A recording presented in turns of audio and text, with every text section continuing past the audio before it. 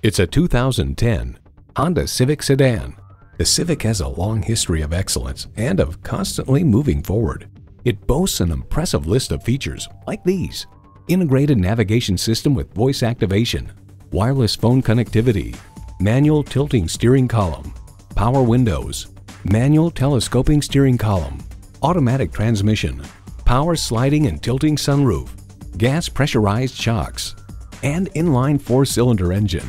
MSN Autos reports it has a sleek new aerodynamic body with a sweeping roofline, rakish windshield angle, and low wide stance. Interiors are blessed with more style and function. It's a Honda, so longevity comes standard.